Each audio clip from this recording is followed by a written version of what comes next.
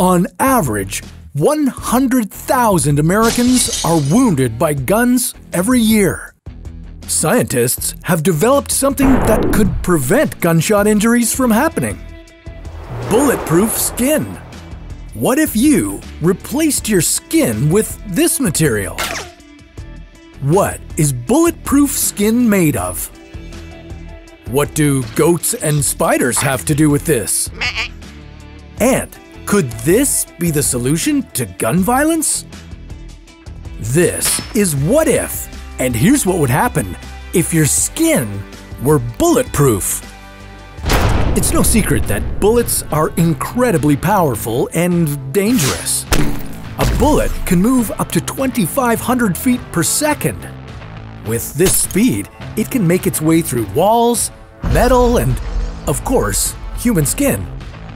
So, if we wanted to make ourselves bulletproof, what exactly would we need to do?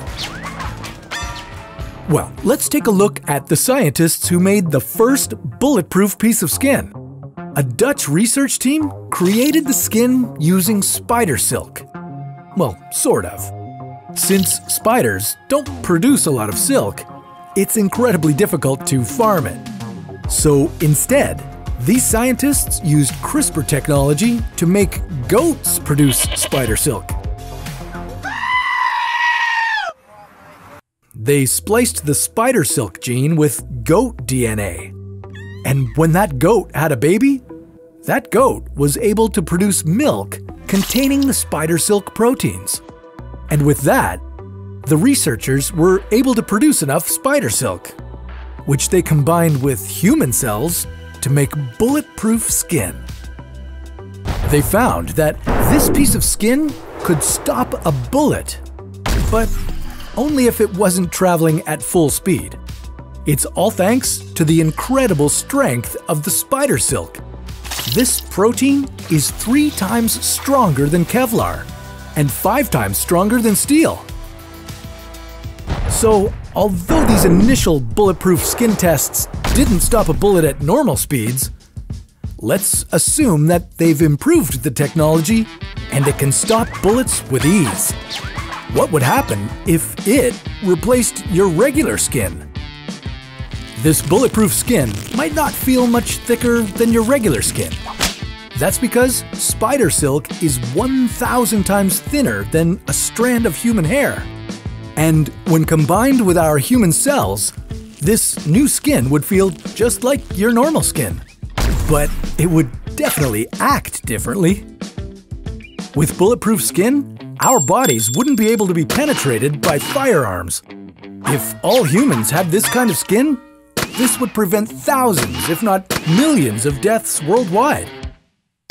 If this type of skin became a normal genetic modification, it would most likely be given to the rich and powerful at first. Presidents, kings, and queens would all have this type of skin, keeping them safer from assassination attempts. Next on the list would be military and police officers. With bulletproof skin, they'd no longer need to wear bulletproof armor or protective equipment. This would save millions of dollars and it would make them more agile on the battlefield.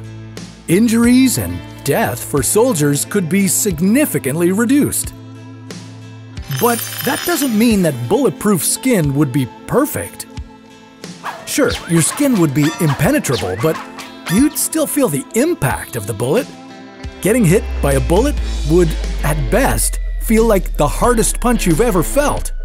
And at worst, it could easily break your bones, so don't go running around thinking you'd be invincible. And with this in mind, bulletproof skin probably wouldn't affect gun violence either. In fact, it might make it worse. Instead of shootings, there could be an increase in bomb attacks.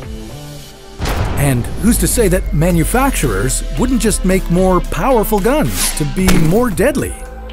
They could develop weapons powerful enough to penetrate bulletproof skin, making it completely pointless. Bulletproof skin might sound like a great idea, but it wouldn't make much of a difference when it comes to violence.